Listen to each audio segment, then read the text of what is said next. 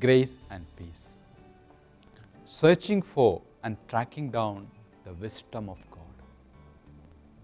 Search for her, track her down. She will reveal herself. Once you hold her, do not let her go. Sirach chapter 6, verse 27.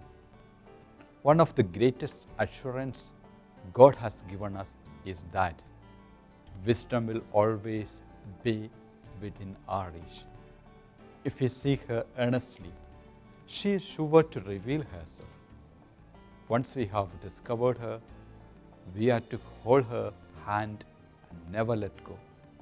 This symbolizes that our every step must be taken in her company. Fools, on the other hand, spurn wisdom and discipline. Praise God.